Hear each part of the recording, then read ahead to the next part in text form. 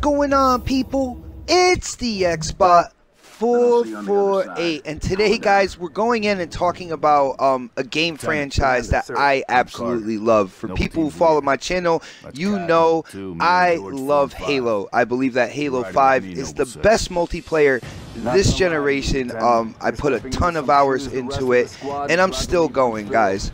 Now, with that being said, with our favorite franchise, our, our favorite, you know, piece of plastic to play games on and stuff like that, if uh, we don't criticize when we feel like they've done something wrong or have made a misstep somewhere, we will never see our favorite things get better. And with that being said, I gotta say, when it comes to the recent Halo news, I don't know what the hell 343 is thinking.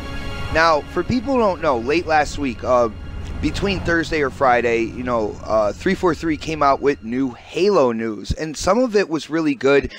Some of it had me scratching my head. Now, the really good stuff. Um, they unveiled the season pass, the rest of the season pass for Halo Wars 2. Uh, new commanders. They even have an Ungoy as a commander. Uh, for people who don't know, an Ungoy is a grunt, and his name is Yap Yap. So that might bring in the whole grunt mech suits and stuff like that into Halo Wars 2, which is really cool. Um, they also uh, they also talked about backwards compatibility, which is which is really cool. Uh, the original Halo, you know, anniversary for Combat Evolved, all the way through Halo 4, are all going to be backwards compatible by the end of the year. And that's awesome for people who, you know, did buy the Master Chief Collection thinking one thing in terms of, man, I'll be able to go in and play all those Halo 3 uh, classic maps and stuff and then realizing the whole voting system kind of took away from that. So now you'll have your separate Halos, Halo, uh, you know, Combat Evolve 2, 3, and 4 to be able to play on the Xbox One, uh, which is really awesome. I'm actually going to pick up Halo 4 again because of it. Not only that, uh, they had more information. They had Halo 5, which is, uh, they said is coming out with an update for true 4K. Now, I'm not going to go out on a limb and guarantee that that means the true 4K package package where they put in the 4K assets, uh, kind of like bump up the lighting and the shadows and stuff like that. I'm still waiting to see that, but I am hoping, I am hoping that they don't do a native, just a uh, upres to native 4K on Halo 5 because I will be disappointed.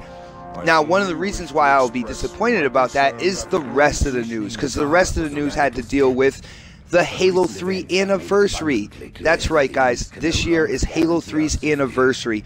One of the most beloved Halos in the Halo community, and we're celebrating its 10 year anniversary this year.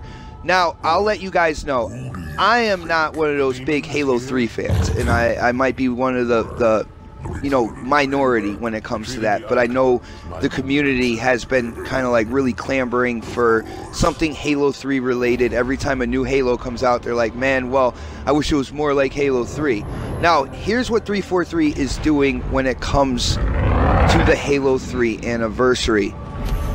Are, are you guys ready? You, you, want to hear it? Um, i'm gonna tell you. A fucking halo 5 playlist right? One of the biggest selling Halos in the franchise, one of the most beloved titles, and they're only giving a Halo 5 playlist. Now, granted, with that playlist, they're talking quote unquote uh, classic gameplay. So I don't know if they're going to take away running or whatnot when uh, or sprinting, you know, when playing this playlist. And not only that, it actually does get worse because 343 didn't go in and, and make the maps for this playlist either because they're talking, you know, Halo 3 classic maps, but yet they took from Community Forge. Now, granted, you know, the, the people who do these maps in Community Forge do an incredible job, but it's not the same as 343 taking the time and energy out to really go in and make these maps. And they're not doing it, guys. They're grabbing from the Community Forge and they're using those. Now, that is a double-edged sword. Now, on the one hand, I, I like that it brings, you know, these forgers, these forge creators to the forefront and shows exactly what they can do. But like I said, nothing, nothing will ever compare to an actual 343 map. Um, and I am hugely, hugely disappointed in that. I feel that Halo 3, even though that I don't feel it's it's the best Halo out there. All right, I, I don't feel that, and I want to keep on kind of reiterating that fact. But I do. I'm a big community person. I'm a big team player, and I've seen what the community has asked for. I've seen it time and time and time again. Now, even if they thought that Halo 3, an anniversary of it, wouldn't sell to a certain uh, amount of people, I still feel like Halo 3 deserved an anniversary edition for a couple reasons. One of the reasons, like I said, one of the most beloved Halos in the franchise. Second reason, one of the highest selling Halos in the franchise. And for the third reason, for people who know Halo, who have played, you know, the multiple titles in the franchise, you know Halo 1, Halo 2, and Halo 3 are one story.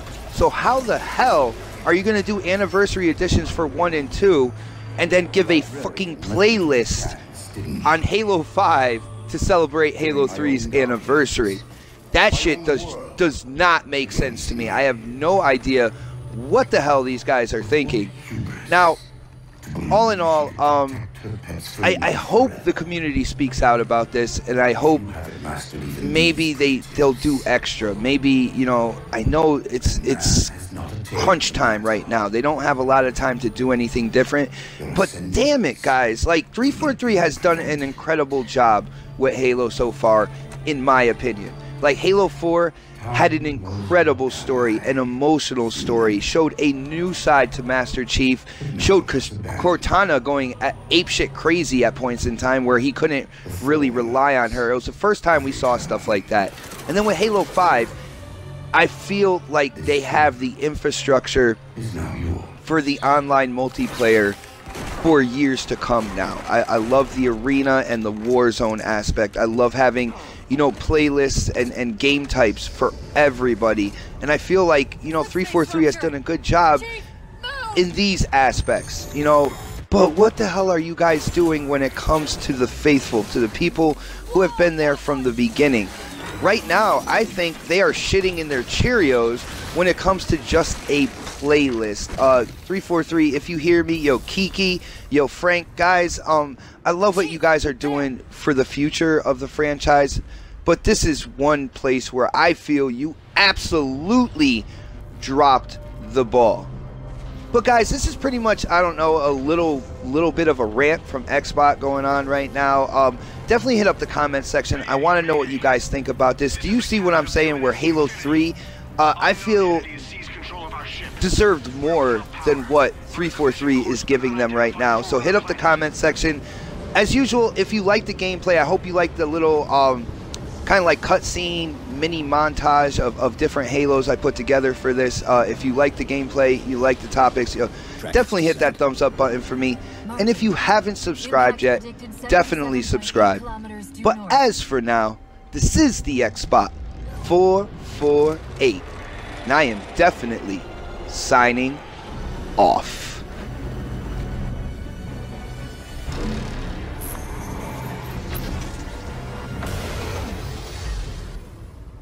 You know where he's headed. Same place we are.